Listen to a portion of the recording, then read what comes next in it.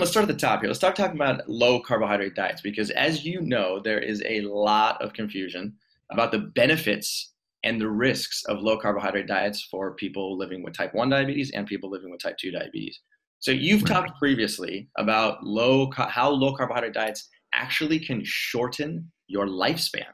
Can you go into a little bit of detail about why this actually occurs? Yes, it's a little bit complicated, but the first thing we have to say is that certainly with type 1 and type 2 diabetes, we want people to eat a diet that is glycemically favorable, and we want their, you know, so that's important. It's glycemically favorable. But that's not the only criteria we want is glycemically favorable, because that's the only criteria, then we can, you know, we want to also a diet that's lifespan favorable, that's slowing the aging process. That'll protect the brain from aging and becoming demented, and it'll protect from getting cancer. All those things are important, not just glycemically favorable. The question is, can we put together recommendations that utilize every aspect of nutritional excellence that promotes human longevity to maximize our time on it, to full, fully fuel mental function, to keep our mental faculties in our later years, to not get cancer, and to maximize human longevity. And the advances in nutritional science make this possible today. We can do better than our ancestors did. We can live to be 100 years old with great health and great physical and mental health. So, to put that into context now your question, what's in vogue today is a lot of ketogenic diets, high protein diets, paleo type diets, because people note when they restrict carbohydrates, need a diet higher in animal products, those foods generally are glycemically favorable because animal products don't raise glucose as much as carbohydrates do. At least as some carbohydrates do, let's talk, say that. The problem is, is that we have to look at the whole picture and we have to look at give certain studies credence that follow thousands of people for decades and look at hard endpoints versus soft endpoints. A soft endpoint might be your triglycerides went down, your glucose got a little better, you lost some weight. Those are soft endpoints. A hard endpoint is you had a heart attack, you stroked out, you or you died. Uh, the m- number one hard endpoint, the hardest endpoint would be death. So if we look at studies that we give more credence to, which go on for decades, maybe 10, 20, or 30 years with large numbers of people, we see that as you ratchet up the animal protein, in direct in a direct relationship between more animal protein, we see more heart attack deaths and more cancer deaths. We also see more di- more earlier death in diabetic populations as they eat more animal protein as well. And there's a lot of reasons why. One main reason is that increased animal protein in your diet drives a hormone called IGF-1, and that's insulin-like growth factor 1. And it's called insulin-like because it's a growth hormone like insulin. It promotes fat storage, it promotes body growth, and when we're not growing anymore and we're adults, higher levels of IGF-1 speed up the aging process and speeds up aging of the brain.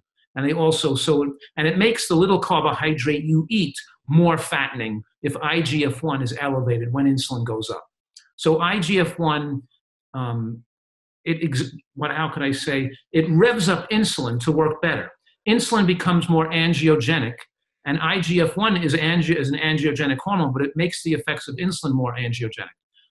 The word angiogenesis means the growth of new blood vessels to fuel the growth of body mass, body tissues.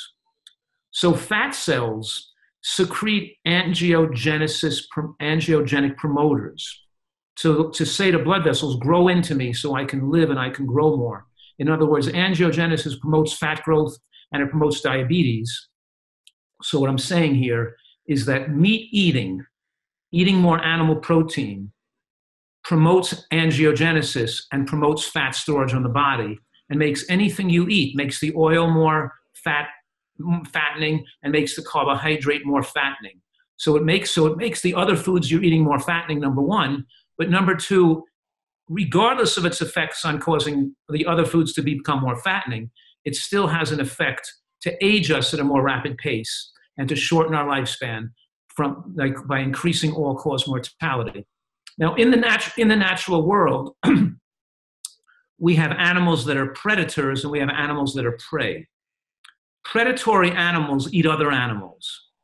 Now, those animals have a control, have a governor control in their lifespan based on how many prey animals they eat. If they overeat the prey animals, nature shortens their lifespan precipitously because they don't want the prey to become extinct. Because if the prey animals become extinct by the overconsumption of them by the predators, then the predators will die out because they won't have any, any animals to eat. So let's, let's take, for example, the, um, the Arctic hare and the lynx. Okay, so the lynx is a cat that eats Arctic hares as their sole source of food. And if they start to eat too many hares, they're like, by the increased protein, the increased animal protein, raising up hormones that speed up the aging process, will shorten their lifespan. Now, that will allow the hares to reproduce and come back into life so that they will support the lynx population. But it's not enough because it takes a few generations for the hares to come back. So what happens in nature is that it affects the genes. So it doesn't just shorten lifespan of the lynx, it often shortens lifespan of their children and grandchildren. For the three generations, we have shortened lifespan because the excess consumption of animal protein from the lynx. This, we see the same thing with every animal we study. Even if we study an, um, carnivores, omnivores, or primarily frugivores, we see the same thing built into all species. That as we, if we can feed an animal and ratchet up their animal protein, in other words, we're talking about biologically complete protein. More biologically complete protein means accelerating the aging process, speeding up the metabolism, the, the aging process that, you know, metabolism is the rate at which we're aging. So we age fast, shortens lifespan, and of course, has the effect to increase our susceptibility to the diseases of aging, like blood vessel disease and cancer. So, so what you're saying is that the exact same rules apply to human beings as well, except we, you know, given the human beings, we can domesticate animals, right? We can, we can, uh, you know, we're not susceptible to, you know, the number of animals that are present in uh, nature because we can basically domesticate more. So, if we were living in a truly natural world, then we would see the exact same relationship, whereby overconsumption of animal-based products would then shorten human lifespan and leave more prey. But that's not happening in in in our world. No, but the, the, it's it's worse than that because animals that are naturally designed to be eating a high plant diet, like like primates and like humans, because we're we have we can see color, we can taste sweet, we have a primate heritage where our diet is supposed to contain a huge amount of phytochemicals and antioxidants to support a long life. Whereas all animals that eat primarily animal products, mostly predatory animals, have short lifespan because they age much quicker. So what I'm saying is that animal protein ages humans faster and is more dangerous for a human than it would be for a true omnivore or a true carnivore, even though their lifespans will be naturally shortened. They're designed to eat that food so they can better, have a better chance of meeting their normally predicted lifespan than a human. Now, we have the ability to live to 100 years old. We can be, we can, there's no reason why, with the knowledge we have today, with the knowledge on blue zones, with the knowledge on advanced nutritional science, we can't all live in good health. Most of us live in good health to 100 years old. And certainly that's impossible to do on a diet rich in animal products. If your goal is to be 75 or 80, then probably you can do that on a healthy diet with animal products.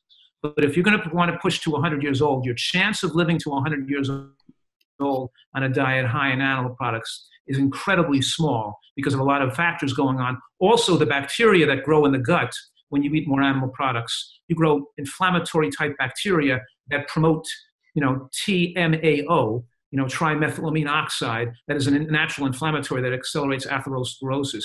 When you live on foods that promote back, um, healthy bacteria growth, and I, I, consider these four foods that promote the healthy bacteria growth because when you eat more raw greens and raw onion and scallion, and you eat more cooked beans and cooked mushrooms, so we're talking here two raw foods, two cooked foods. The two raw foods are, I'll repeat again, are green leafy vegetables and scallion and onion. Um, uh, yes, yeah, so there are two raw foods.